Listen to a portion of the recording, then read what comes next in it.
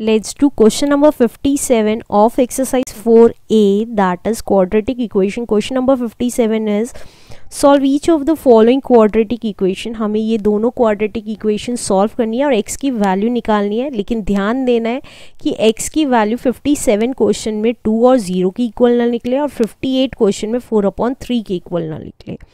Right right? तो हम fifty seventh question करने जा रहे हैं पहले। फिफ्टी सेवेंथ की हमने इक्वेशन लिख ली है। X plus three upon x minus two minus one upon minus x one minus x upon x equals to four whole one upon four right अब कैसे करेंगे? सबसे पहले हम एलसीएम ले लेते हैं। एक्स की वैल्यूज़ क्योंकि एक साइड ही हैं। तो x माइनस टू अब इस x की मल्टीप्लाई इसमें x प्लस थ्री में और x माइनस टू की मल्टीप्लाई इसमें.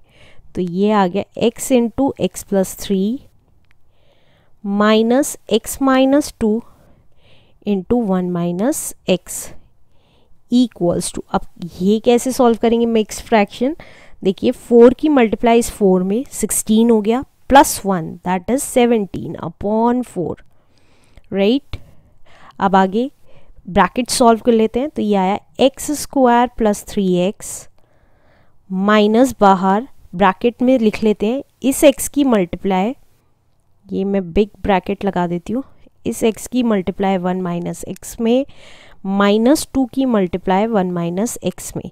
ये ध्यान दीजिएगा, बाहर माइनस था तो ब्रैकेट लगना ज़रूरी है, और ये आ गया x square minus two x equals to seventeen upon four brackets open कर लेते हैं तो ये आ गया x square plus three x minus x minus x square minus two plus two x upon x square minus two x equals to seventeen upon four right further bracket open कर लेते हैं तो यह आया थ्री एक्स माइनस का x plus का x square plus का to minus का two x upon x square minus two x equals to seventeen upon four अब ये देखिए एक्स स्क्वायर दोनों प्लस के हैं तो ये आगे टू एक्स ये x का एक प्लस का है, एक माइनस का है और ये भी माइनस का है। तो ये तीनों कैंसिल हो जाएँगे,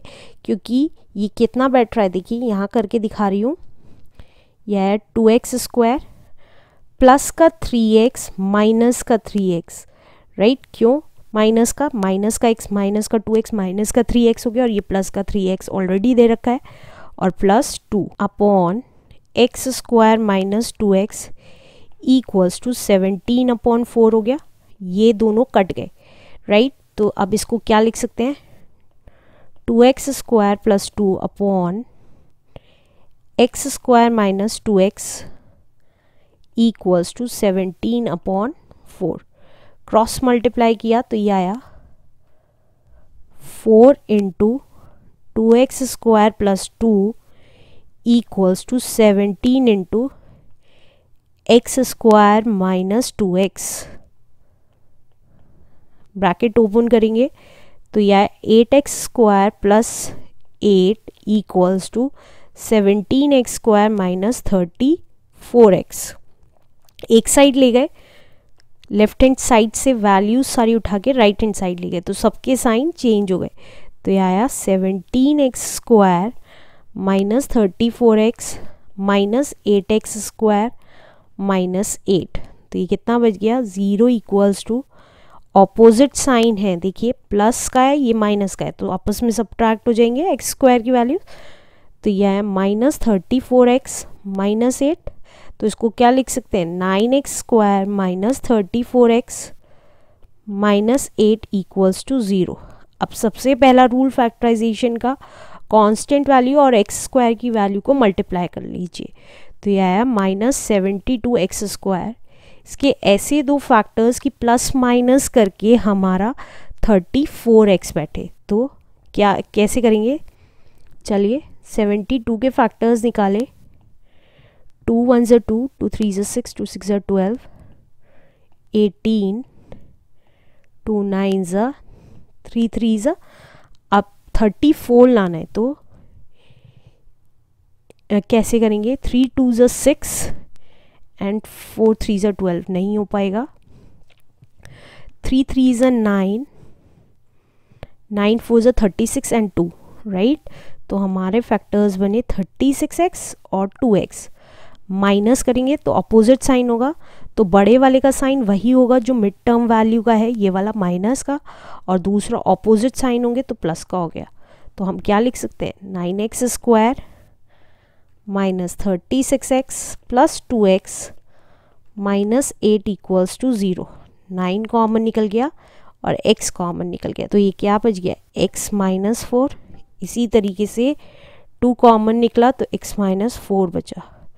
अब x माइनस फोर दोनों ब्रैकेट में है तो कॉमन निकल गया तो ये क्या बच गया nine x plus two equals to zero अब x की वैल्यूज़ निकालिए तो x माइनस फोर को ज़ीरो के इक्वल रखा तो x आ गया four nine x plus two को ज़ीरो के इक्वल रखा तो नाइन एक्स की वैल्यू आ गई माइनस टू और x की वैल्यू आ गई minus 2 upon 9 is the answer. Let's do question number 58. Question number 58 says 3x minus 4 upon 7 plus 7 upon 3x minus 4 equals to 5 upon 2 where x is not equals to 4 upon 3. एक चीज़ notice करिएगा कि यहाँ पे जो numerator में next equation के denominator में और जो यहाँ डिनोमिनेटर में है, वो नेक्स्ट नेक्स्ट वैल्यू के sorry not equation next value के न्यूमरेटर में. तो इस टाइप के क्वेश्चंस कैसे सॉल्व करते हैं? चलिए देखते हैं. सबसे पहले हम अपना क्वेश्चन लिख लेंगे। हमारा क्वेश्चन है three x minus four upon seven plus seven upon three x minus four equals to five upon two तो इसको क्या करेंगे हम? इस टाइप के लिए ट्रिक है। लेट हम कोई सी भी एक वैल्यू को three x minus four upon seven को हमने ए मान लिया राइट तो अब इसको क्या लिख सकते हैं? ए प्लस इसको वन अपॉन ए लिख सकते हैं, क्योंकि वो रेसिप्रोकल हो गई right equals to five upon two अब इसका एलसीएम ले लिया तो ये हो गया ए इस, जो नीचे एलसीएम में है ए इसकी मल्टीप्लिकेशन इसके साथ plus one equals to five upon two तो ये आ गया a square plus one upon a equals to five upon two cross multiply हो गया तो ये कितना आ गया? यह आया two into a square plus one equals to five a तो ये आया two a square plus two equals to five a five a को लेफ़्ट हैंड साइड लिया है तो ये आया minus five a plus two equals to zero अब क्या करेंगे? इस टू की मल्टीप्लाई इस टू ए स्क्वायर में तो ये कितना आ गया? Four a square. अब इसके ऐसे दो फैक्टर्स की प्लस माइनस करके फाइव ए आए तो हमें पता है four a into a four one ज़ो four four plus one five हो गया और मल्टीप्लाई करके फोर हो गया राइट लेकिन यहाँ साइन कौन सा आएगा? देखिए, यहाँ माइनस का है और ये दोनों ऐड हो रहे हैं तो दोनों माइनस के हो जाएँगे राइट तो ये कितना आ गया?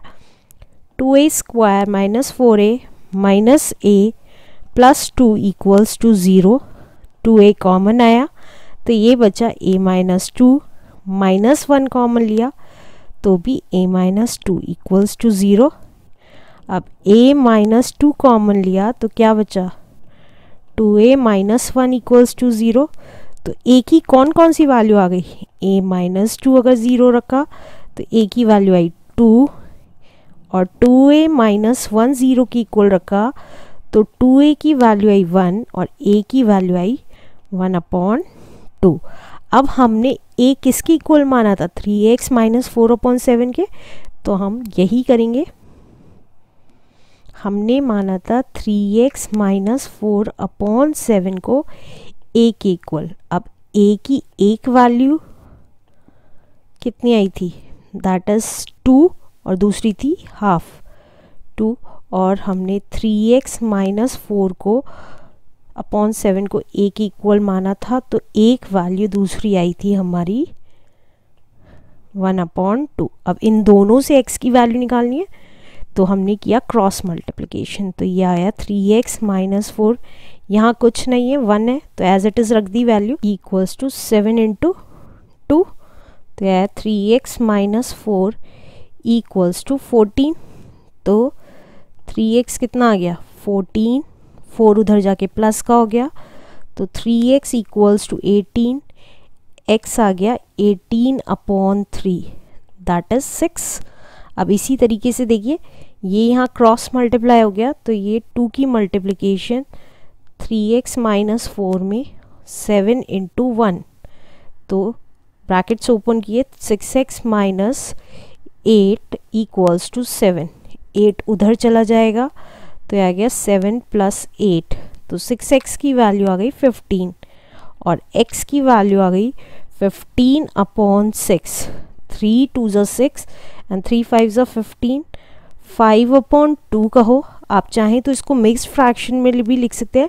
टू अपॉन टू ऊपर वन कैसे आया? देखिए, मैं आपको बता देती हूँ. टू नीचे आ टू डिवाइड करता है. फाइव को तो टू टू ज़ा फोर वन तो ये वाला जो टू है, वो हमेशा नीचे रहता है। क्वेश्चन जो टू है, वो साइड में रहता है और रिमाइंडर जो है, वो ऊपर रहता है। इसलिए इस टू की मल्टीप्लाई इसमें करते हैं वन रिमाइंडर ऐड करते हैं। ये हम पुरानी क्लासेस में सीख चुके थे तो हमारी एक्स की वैल्यू आ गई six and two whole one upon two का हो या फाइव अपॉन टू का हो इज़ द सेम आंसर